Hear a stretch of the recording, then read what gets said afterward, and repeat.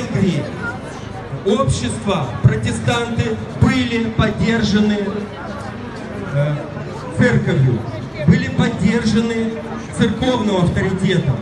Мне очень жаль, что в нашей стране церковь молчит, как будто бы их не касается. Коррупция, воровство,